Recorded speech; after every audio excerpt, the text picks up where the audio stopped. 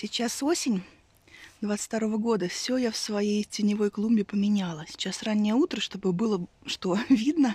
Я решила поэтому снять очень рано, в 5 утра. Вот это вот у меня а, анимона японская.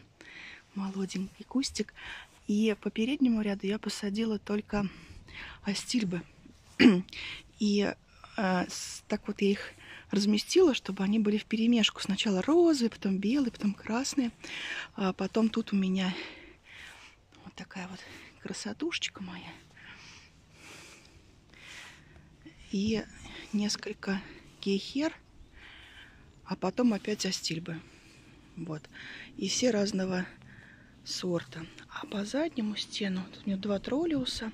Такое все пришло в негодность, страшненькое разбитое сердце децентра и бузульники, еще бузульник. В общем-то, вот так вот я пока сделала, чтобы у меня спереди были только астильбы. Это я себе на память на всякий случай снимаю, чтобы было видно.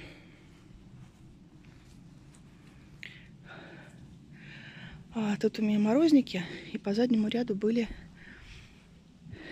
разные цветочки. Ну, в основном папоротники. Я их пересадила вот сюда, вот за гараж. Вот у меня теперь все папоротники вот здесь, между хостами.